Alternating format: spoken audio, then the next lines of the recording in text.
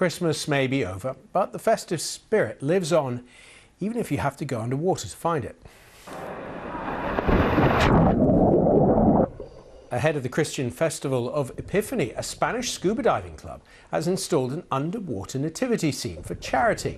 Those who want to take part have to pay about $6 to receive a brief training course and an underwater christening. Only then can they paddle down to view the festive scene. On January the 6th, many children in Spain wake up to a Christmas tree surrounded by presents left by the three wise men the night before. To clarify, that part is back on dry land.